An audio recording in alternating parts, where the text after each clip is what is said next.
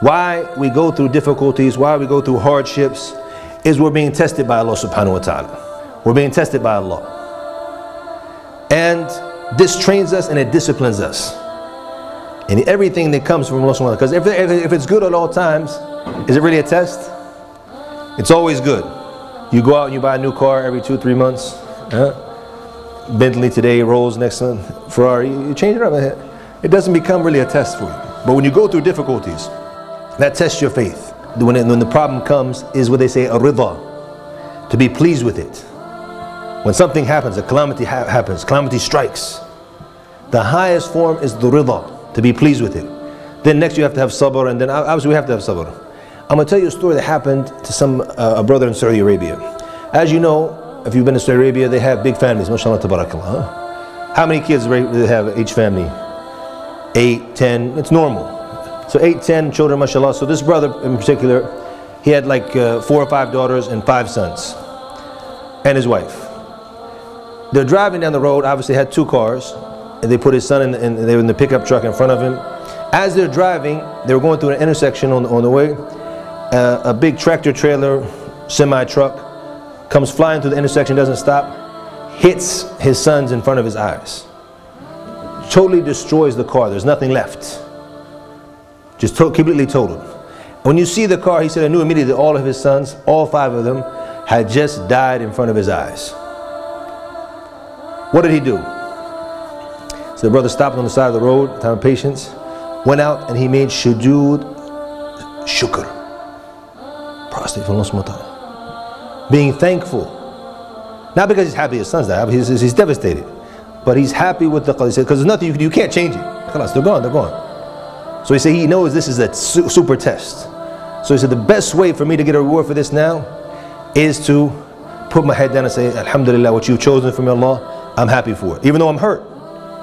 Because it's natural. The Prophet he, he cried when his, when, his, when his son died. And the people were surprised. He said, this is something Allah puts in the heart of the believer, something normal. But alhamdulillah, we have to be saying what Allah subhanahu wa has chosen for us.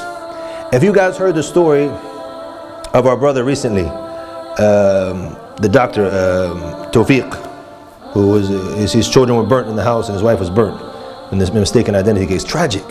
But if you heard him talk, and the thing is, he, he's not a lecturer. He doesn't. He's never talked before. This is the first time he's ever talked because he had to talk. Even I was listening to it because we had a, a, problem in our masjid in Ireland where I was in the center. Uh, the, the same talk show, we were on there and he was on there before us. And so I'm listening to the guy and I was like, the non-Muslims are calling in like, you know, this, what type of uh, belief is this? And he said, you know, this is our belief. Uh, if something happens so we say, inna lillahi wa inna ilayhi raji'un. He started to explain it really, really deep. So the guy lost his wife and his three children. All, all, it's all gone, just like that. And if you guys remind me later, I have some pictures on my on my phone. I, took, I met him in a conference in Dublin about the re revival of the Quran. He showed me from the miracles, subhanAllah, the house was burnt down. The masahif of his two sons and his wife's Quran were not touched by the fire. And uh, it's, it's, it's, it's amazing. I have the pictures of them actually. You can smell the burnt. There's a little, few little burnt marks here and there. You could, you could smell it, you could see it. I took some pictures of it. It's absolutely amazing, subhanAllah. So the thing is, is that, and what can, he, what can you do to change that? That's a high level of Iman. But when you realize that everything comes from Allah subhanahu wa ta'ala, how does it affect you? Because the difficulties we go through in life, life is difficult. You're here to be tested. Life is not going to be easy. It's not going to be a walk in the park. Everything's going to be easy. Everything. Just go in the, in, the, in the school, you don't study, you get all A stars, mashallah, tabarakallah. You get the best job, you have the best car, the best wives, all of this, mashallah.